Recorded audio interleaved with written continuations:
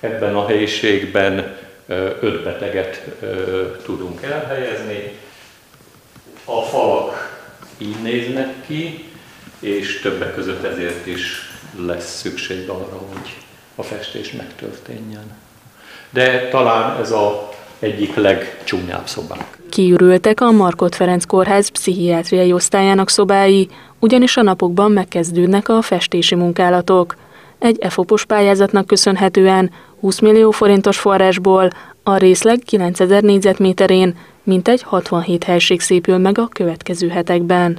Először pár évvel ezelőtt rehabilitációs részlegünket újították fel, most pedig, mikor itt járt a AEK vezetés és a szakmai vezetés, akkor abban maradtunk, hogy mi nekünk sokkal több igényünk lett volna, de az ország többi pszichiátri osztályához képest ez a részleg nagyon jól néz ki, és azt mondták, hogy itt sajnos azokat az igényeket, amiket mi még pluszban kértünk volna, arra nem tudnak költeni, maradt a festés.